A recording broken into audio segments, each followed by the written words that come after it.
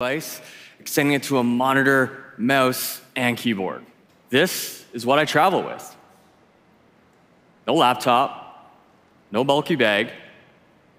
Let's say I'm on the High Line and I need to talk to Suzanne about our Note 8 presentation. We've partnered with Zoom to make video conferencing completely seamless.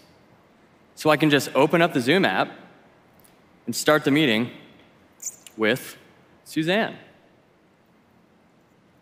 And I love this flexibility where I can be doing this while I'm strolling down the High Line. Oh, there she is. Hey, Suzanne.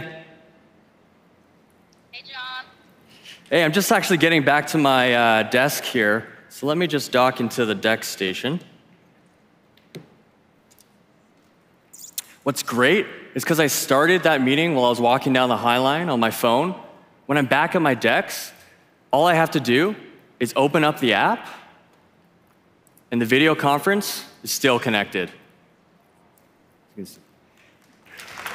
Pretty cool. Didn't have to rejoin, reconnect.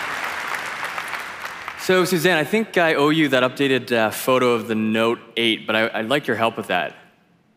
All right, let's do it. All right, so let me just share you my screen so you can see what's going on. Oh, wow. That's so cool. I can see your screen and me on your screen. Nice. So I'll pull up Adobe Lightroom. Go to the photo that we need to edit here. All right, it's a good looking photo, but I think it's a bit dark. So let's uh, do a selective edit.